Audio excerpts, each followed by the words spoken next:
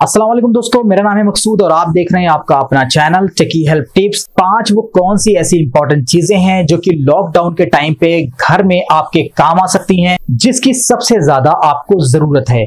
इस वीडियो में हम वो पाँच चीज़ें जानेंगे जिसके हेल्प से आप अपने काम को आसान बना सकते हैं, घर बैठे। तो आइए जानते हैं।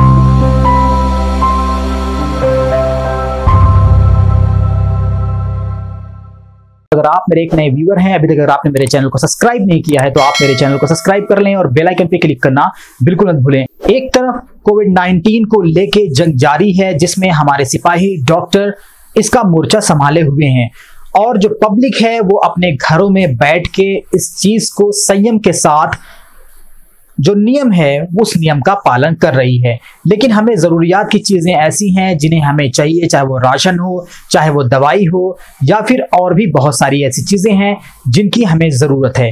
तो अगर आप वो सारी चीज़ें नहीं जानते हैं, जो कि आपकी ज़रूरियात की चीज़ें हैं, आपको कैसे मिलेंगी जब आप घर पे हैं और आपको वो सामान की ज़रूरत है तो आइए एक एक करके जान लेते हैं।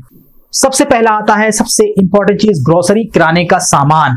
किराने का सामान एक दिमाग में हमारी ये बात आ रही है कि अगर किराने का सामान खत्म हो जाता है तो उस केस में किस तरीके से हम किराने का सामान लेंगे या फिर ले पाएँगे? तो गवर्नमेंट ने इस बात की श्योरिटी दी है कि किराने का सामान, चाहे वो सब्ज़ी हो या फल हो या फिर दाल चावल हो, ये खत्म नहीं होगा, ये आपको मिलता रहेगा। हाँ अगर आपको ये सामान वैसे लॉकडाउन की वजह से नहीं मिल पा रहा है दुकानों पे तो आप Big Basket milk bucket Country Delight से ऑनलाइन ऑर्डर कर सकते हैं और ये आपको श्योरिटी देते हैं कि आपके घरों तक ये सामान को पहुंचाएँगे। अब बात आती है ग्रामीण इलाकों में। ग्रामीण इलाके वाले ये बात सोच रहे होंगे कि किस तरीके से वहाँ पे इस इन चीज़ों की सर्विसेज़ अवेलेबल नहीं है तो वहाँ कैसे सामान मिलेगा? तो वहाँ के लिए मैं आपको बता दूँ कि गवर्नमेंट ने जो ऑर्डर दिया है, वहाँ पे कुछ टाइम फिक्स किया गया है। उस टाइम पे ही वो दुकानें खुल रही हैं और उसके बाद दुकानें बंद हो जा रही हैं तो आप उस टाइम पे जाके वहाँ से सामान खरीद सकते हैं। Mobile recharge. हम इंटरनेट का इस्तेमाल मोबाइल पे काफ़ी ज़्यादा करते हैं, या फिर हम बात करने के लिए जब हम घर पे हैं तो काफ़ी ज़्यादा इस्तेमाल कर रहे हैं। उस केस में ये हो गया है कि किस तरीके से अगर हमारा मोबाइल रिचार्ज खत्म हो जाता है तो हम अपने मोबाइल को रिचार्ज करेंगे। उसके लिए भी सारी जो टेलीकॉम ऑपरेटर कंपनीज़ हैं, इन लोगों ने आपको ऑनलाइन सर्विस प्रोवाइड कर दिया है। आप अपने जो भी बैंक में आपका अकाउंट है, वहाँ से आप जाके रिचार्ज कर सकते हैं, या फिर आप एयरटेल ऐप या फिर वोडाफोन ऐप या फिर जियो ऐप में जाके भी रिचार्ज कर सकते हैं। उसके बाद अगर आप पेटीएम यूज़ करते हैं, या फिर फ़ोन पे यूज़ करते हैं, वहाँ से भी जाके आप रिचार्ज आसानी के साथ कर पाएँगे। ई रिटेल की चीज़ें जैसा कि हम सब जानते हैं कि इस वक्त लॉकडाउन की वजह से प्रॉब्लम आ रही है। अगर आटा, दाल, चावल ये आपको लोकल दुकानों पे नहीं मिल रहा है तो गवर्नमेंट एक चीज़ ये कह रही है कि आप स्नैपडील फ्लिपकार्ट एमेजोन पे भी जाके ऑर्डर कर सकते हैं। लेकिन ये भी एक बात ध्यान रखने वाली है कि ये तो हम वहाँ पे कर सकते हैं मेट्रोपोलिटन सिटीज़ या पे जहाँ पे इसकी सर्विस अवेलेबल है, वहीं पे हम कर सकते हैं।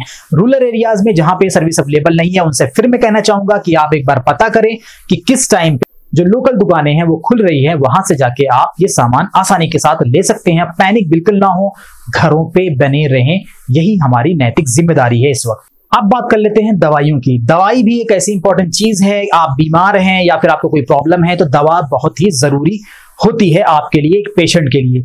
लेकिन हो क्या रहा है कि अगर आपके पास जो नियरेस्ट स्टोर है, वो दवा खाना बंद है या स्टोर बंद है या फिर आपको दवा वहाँ नहीं मिल रही है तो आप ऑनलाइन भी स्टोर जो कि मिड लाइफ है, जहाँ से आप खरीद सकते हैं।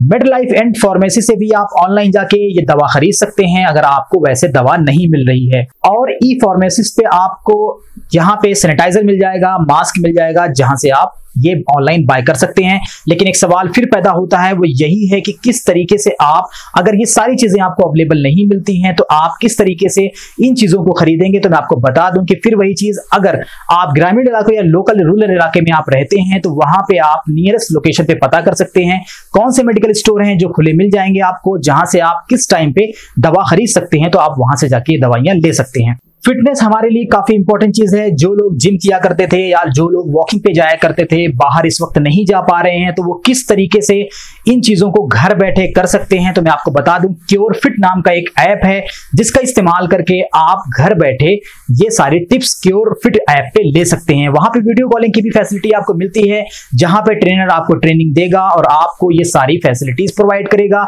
आसानी के साथ आप घर बैठे भी एक्सरसाइज और जिम कर सकते हैं। तो अगर आपको मेरा ये वीडियो पसंद आया हो तो आप इसको लाइक ज़रूर करें और और इस वीडियो को ज़्यादा से ज़्यादा शेयर करें ताकि उन लोगों तक ये बात पहुँच सके, जो लोग ये बात नहीं जानते हैं और इसको व्हाट्सएप पे भी शेयर ज़रूर करें। फिर आपसे एक बार कहूँगा कि घरों में रहें, घरों से बाहर ना निकलें, जब आपको ज़रूरत है, तभी घरों में से निकलें।